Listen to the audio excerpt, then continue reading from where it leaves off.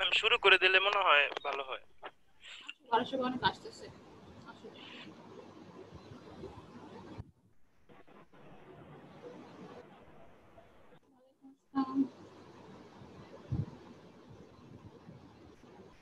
আচ্ছা উনিশ জন হয়ে গেছে ক্লাস এখন স্টার্ট করি। হ্যাঁ, শুনতে আছে না?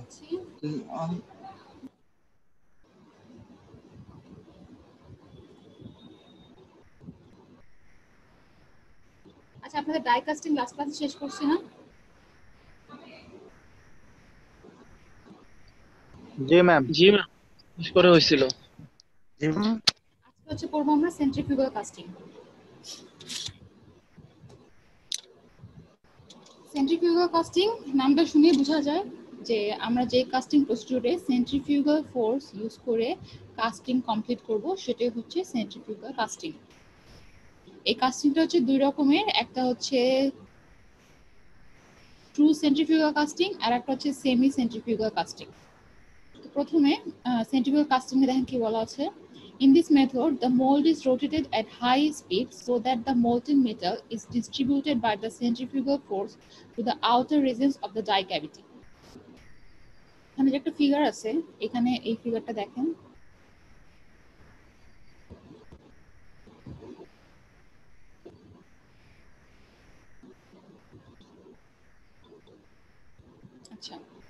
সাপোজ এটা মনে করেন লম্বা একটা পাইপ পাইপ শেপ অথবা লম্বা একটা সিলিন্ডার হ্যাঁ?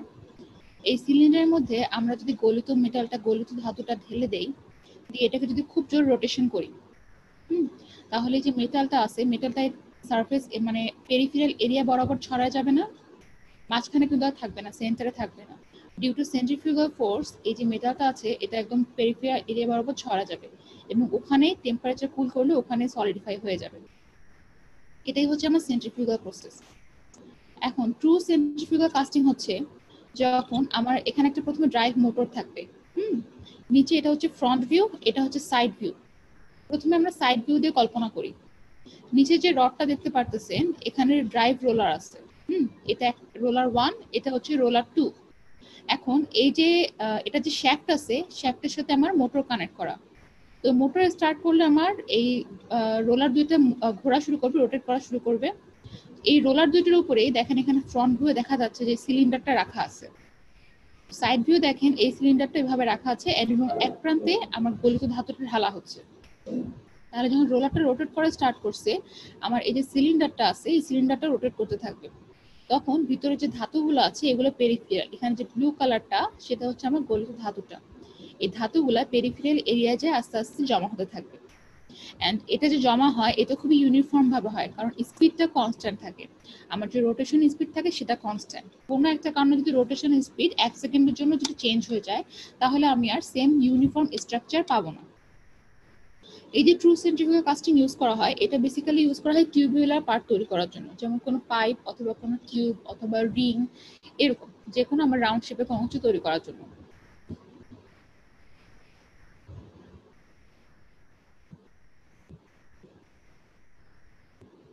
আচ্ছা এখানে দেখেন বলা আছে The outside shape of the casting can be non-round, but inside shape of the casting is perfectly round due to the radial symmetry with respect to forces. অর্থাৎ আমার যে টিউবের যে আউটার শেপ অর্থাৎ এই যে আমার টিউবের যে ইনার শেপ যে আমি টিউবুলার একটা শেপ তৈরি করতেছি এই সিলিন্ডারটা আউটার সারফেসটা অর্থাৎ এমন যদি হতো যেটা আমার একটা স্কোয়ারের ভিতর একটা সিলিন্ড্রিক্যাল হলও তৈরি করা আছে তাহলে আমি সেটা দিয়েও এটা তৈরি করতে পারতাম কিন্তু সেক্ষেত্রে রোলারগুলা সেট আপটা ডিফারেন্ট হয় এবং ডিফারেন্ট ভাবে সেট আপ সেটিংটা করতে হয়। কিন্তু বাইরের শেপ আমার যেটাই থাক না কেন ইনার সারফেসের যে শেপটা আছে, সেটা অলওয়েজ টিউবুলার হবে due to the radial symmetric symmetry with respect to forces কারণ আমার স্পিডটা অলওয়েজ সিমেট্রিক্যাল অর্থাৎ ইউনিফর্ম অর্থাৎ কনস্ট্যান্ট থাকতেছে চেঞ্জ হচ্ছে না। আপনাদেরকে আমি একটা শর্টকাট ভিডিও দেখাই দিই ভিডিও দেখাই দিলে কনসেপ্টটা ক্লিয়ার হয়ে যাবে। আচ্ছা ম্যাম একটা প্রশ্ন ছিল এখানে। বলতে থাকেন? ম্যাম ওই যে গলিত ধাতুটা যখন আমরা ঢালবো তখন যদি এটা বেশি বা কম অ্যামাউন্টে যায় তখন ম্যাম প্রবলেম হবে না? একবার। বললাম ওই যে আমরা যে ধাতুটা ঢালবো ভিতরে তখন ম্যাম এটা যদি কম বা বেশি হয় তখন কি সেক্ষেত্রে প্রবলেম হবে কোনো? আচ্ছা কম বেশি হলে কোনো ম্যাটার না। আপনি যখন আপনি যখন ফিগারটা দেখছেন যে ধাতুটা কিন্তু আমরা এক সাইড দিয়ে ঢালতেছি হুম? আপনার ধাতুটা যেরকম আপনি যেরকম ভলিউম চাবেন আপনি আপনি মানে সেম কোশ্চেনটির আগের একটা কাস্টিংও করছিলেন ডাই কাস্টিংও মনে হয় করছিলেন। আমরা যখন কোনো একটা প্রোডাক্ট বানাতে চাই, আমরা অলওয়েজ এর ভলিউম অ্যান্ড এরিয়া এগুলো আগে ক্যালকুলেট করে নিই। আমরা জাস্ট সাডেনলি একটা র্যান্ডম অ্যামাউন্টের ধাতু ঠেলে কোনো একটা প্রোডাক্ট তৈরি করি না। আমাদের আগে কিছু প্রিপারেশন থাকে, তো সেই হিসেবে আমরা সেই অ্যামাউন্টের ধাতুটাই ঢালি। আর যদি কোনো কম বেশি হয়, তাহলে দুইটা কেস হতে পারে। একটা হচ্ছে যে হয়তো ফুল সিলিন্ডার এখানে আপনারা দেখতে পাচ্ছেন, একটা ইউটিউব পেজ দেখতে পাচ্ছেন মনে হয়। হয়তো যদি ধাতু আমার কোনো কারণে কম করে তাহলে হয় ফুল সিলিন্ড্রিকাল শেপ সেটা কভার করবে না। কোনো একটা জায়গায় মানে কোনো একটা জায়গায় কম থেকে যাবে। আর হতে পারে যে আমার যে সিলিন্ড্রিকাল শেপটা আছে, এটা খুবই পাতলা হয়ে যাবে। এখন একটু ভিডিওটা দেখেন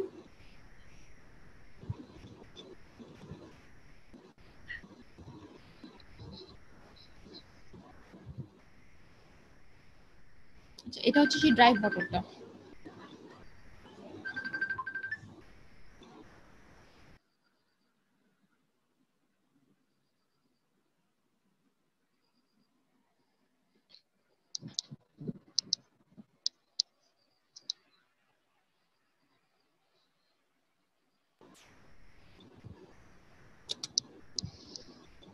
আচ্ছা আপনারা দেখতে পারতেছেন আমার এখানে ড্রাইভ মোটরটা থাকতেছে।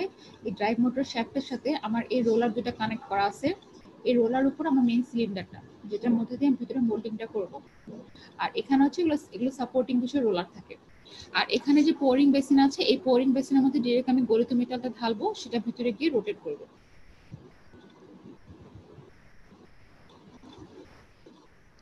দেখেন আমার মোটর স্টার্ট হলো। এটা অ্যানিমেশন ভিডিও আপনারা ভিডিওটা মুভ করতেছে, দেখতে পারতেছেন না?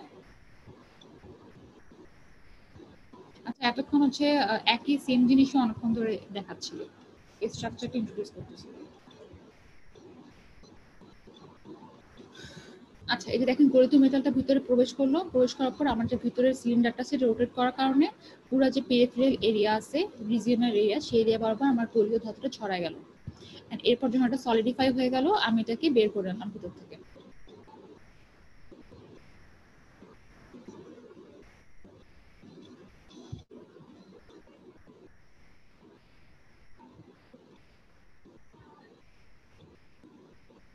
এই যেটা আমার ফাইনাল অবজেক্ট আচ্ছা এটা গেল আমার হচ্ছে ট্রু সেন্ট্রিফিউজ সেন্ট্রিফিউগাল প্রসেস এবার আসি semi centrifugal process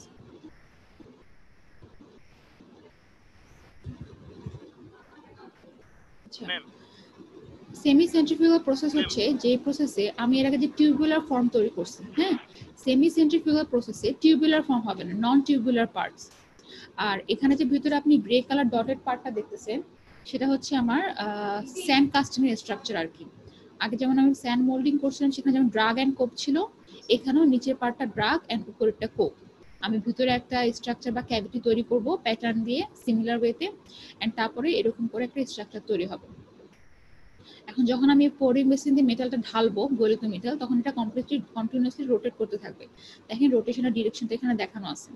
and rotate করতে থাকার পরে, যেহেতু এটা সেন্ট্রিফিউগাল ফোর্স ইউজ করতেছি আমি, তাই সেন্ট্রিফিউগাল ফোর্সের জন্য ম্যাক্সিমাম অ্যামাউন্টের যে মেটাল আছে, সেটা এই সাইড এরিয়া অর্থাৎ পেরিফেরাল এরিয়ায় ছড়া যাবে। অর্থাৎ পেরিফেরাল এরিয়াতে আমার ধাতুর ডেন্সিটি বেশি থাকবে অ্যান্ড মাঝখানে সেন্টারে ধাতুর ডেন্সিটি কম থাকবে। পরবর্তীতে আমাদের যেসব শেপগুলো দরকার হয়, যেমন কোন একটা স্ট্রাকচার যেটার মাঝখানে হলো কিন্তু সাইডে আমার স্ট্রাকচার থাকতে হবে, সেসবটা, সেসব স্ট্রাকচারগুলো সেমি সেন্ট্রিফিউগালে বানানো হয় এবং মাঝখানে এটার ডেন্সিটি কম হওয়ার কারণে এই মাঝখানে পার্টটা খুব ইজিলি মেশিনিং প্রসিডিউরে সরাই ফেলা যায়। এখন এখানে বলা আছে in this process centrifugal force is use to produce non tubular parts solid and non tubular parts এখানে দুইবার নন টিউবুলার পার্টস বলা আছে, একবার সলিড বলা আছে। সলিড অর্থাৎ হচ্ছে যেটা ভিতরে পুরো এরিয়াটা জুড়ে আমার ধাতুটা থাকবে সেক্ষেত্রে আর একটা বলা আছে যেখানে আমার পুরো ভিতরে এরিয়া জুড়ে ধাতু থাকবে না অর্থাৎ ভিতরে একটা হলো শেপ থাকতে পারে GF will be around 15 by controlling the rotation speed. Gravity force will be around 15 by controlling the rotation speed. Molds are provided with riser at the center. আচ্ছা generally the density of metal will be more at the outer section and not at the centre rotation যেহেতু যেটা একটু আগে বললাম centrifugal ফোর্সের জন্য আমার metal density peripheral এরিয়াতে বেশি থাকবে then the central position to parts in which like the central region can be removed when machining, like wheels, pulley are usually produced with this method. তাহলে wheels, pulley যেটা মাঝখানে আমরা shaft করার জন্য আজকে একটা ফাঁকা রাখি, এইসব স্ট্রাকচার তৈরি করার জন্য সেমি সেন্ট্রিফুগাল প্রসেসটা ইউজ করা হয়। আপনাদেরকে আরেকটা ভিডিও দেখাই দিই সেমি সেন্ট্রিফুগালের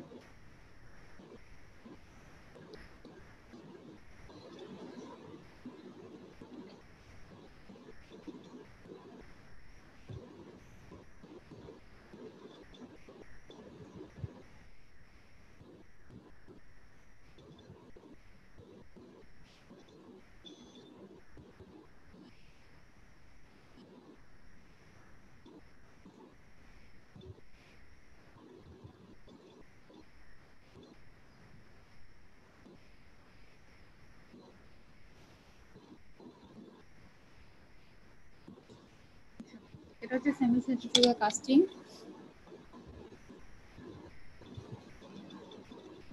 মূলতরি মেটেরিয়ালটা মাঝখানে ঢালা হবে।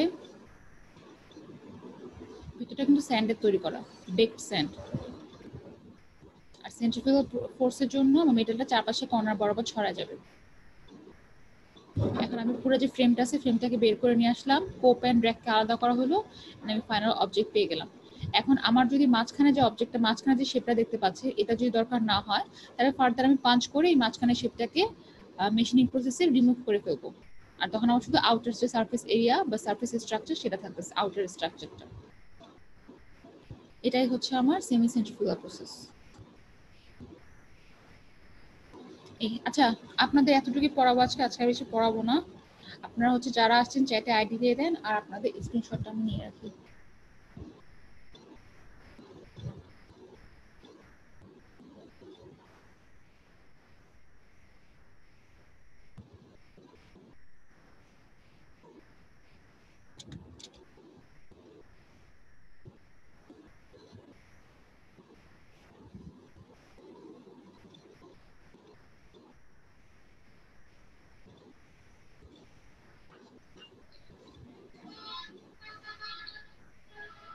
ম্যাম শীটগুলো কি দেওয়া হয়েছে? আমরা এখনও শীটগুলো পাই নাই ম্যাম হ্যাঁ আপনাদেরকে দেওয়া হয়েছে তো। আপনাদের সিআর কে আমি অনেক আগে মেল করছি। আমরা তো আসলে পাইনি এখনও এগুলো। এখন আপনাদের সিআর কে বলেন আমি তো দিয়ে দিচ্ছি সিআর কে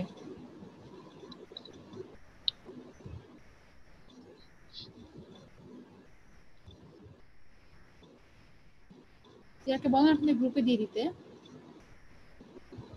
সিয়ার ভাই কি এখানে আছেন? যদি থাকেন কাইন্ডলি গ্রুপে দিয়ে দেন শীটগুলো মুস্তাফিজ কই এখানে? মুস্তাফিজ? সেকেন্ড সিআর যেন কে? ইসলাম আছে ম্যাম। তো আপনি মুস্তাফিজের কাছে কালেক্ট করে নিয়েন তো। আচ্ছা আপনি আপনার মেল আইডি আমাকে দিছেন না? আপনাকে আমি মেল করে দিই। ম্যাম এখানে তো ইসলামও নাই মেবি নাই ইসলামও নাই? জি না ম্যাম না আপনাদের দুইটা সিআরই চেঞ্জ করে ফেলেন আপনারা। ক্লাসে আসবে না ঠিক আছে বাট আপনাদেরকে ক্লাস ম্যাটেরিয়াল তো দিতে হবে। এরকম আপনার অ্যাক্টিভ সিআরদের না কাছ থেকে আজকে মুস্তাফিজ? হ্যালো এখন মনে হচ্ছে ম্যাম আমাদের থার্ড একটা সিআর সিলেক্ট করতে হবে।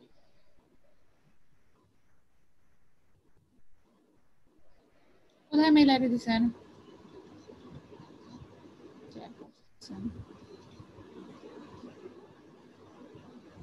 আচ্ছা একটু ওয়েট করেন তাহলে। আপনাকে আমি এখনই মেলটা করে দিই। পরে খেয়াল থাকবে না আমার।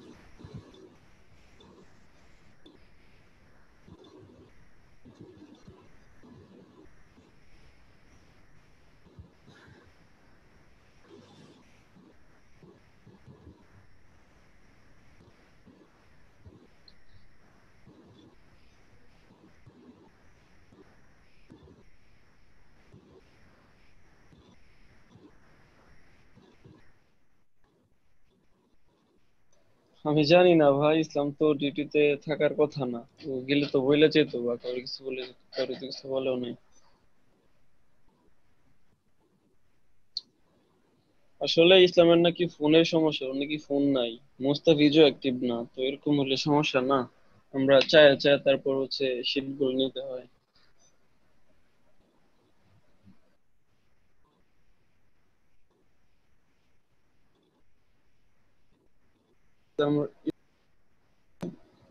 ইসলাম- আমি কালকে নক দিছিলাম, বলছিলাম যে তুই একটু কষ্ট করে ওগুলা শেয়ার দিয়ে দিস।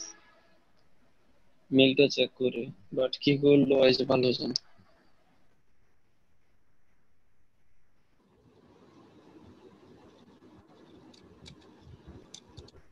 আচ্ছা রয়সুল কবির, আপনাকে আমি স্লাইড মেইল করে দিচ্ছি। আপনি একটু সবাইকে মনে করে অবশ্যই দিয়ে দিবেন।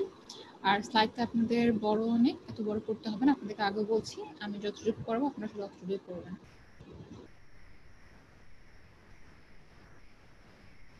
আপনাকে মেল করে দিচ্ছি আপনারা সবাই চ্যাট লিস্টে আইডি দিচ্ছেন? জি ম্যাম জি ম্যাম দিয়েছি। জি ম্যাম দিয়ে দিছে আপনাদের। তাহলে আপনাদের স্ক্রিনশট আমি নিয়ে নিয়েছি আপনাদের কোর্স ম্যাটেরিয়াল আমি মেইল করে দিছি আবার আপনাদের সবাই আইডি আমি ডাউনলোড করে নিব। তাহলে আজকের জন্য এখানেই শেষ। ইনশাআল্লাহ পরের ভিডিওতে আবার দেখাবো। আর হ্যাঁ আপনাদের সিআর কি জানাইছে? আপনাদের সিটি কিন্তু ক্যান্সেল করছি। মানে আপনাদের ক্লাস টেস্ট নেওয়ার কথা ছিল সেটা কিন্তু ক্যান্সেল করছি। পরে আমি নিব। ম্যাম নেক্সট উইকে ক্লাস টেস্ট হবে না? না না না নেক্সট উইক আমি নিব না একটু সমস্যা আছে আমি পরবর্তীতে নিব। আপনাদের স্যার এটা আপনাদেরকে জানায় নাই। না ম্যাম। বলেনি তো কিছু। ইরেসপন্সিবল বিহেভ করতেছে। হ্যাঁ এটা পাওয়ার পয়েন্ট জানাইছে। মাহমুদ ব্যাগ আচ্ছা ঠিক আছে। আপনারা থাকেন হ্যাঁ? আল্লাহ হাফেজ আসসালামু আলাইকুম। আসসালামু আলাইকুম।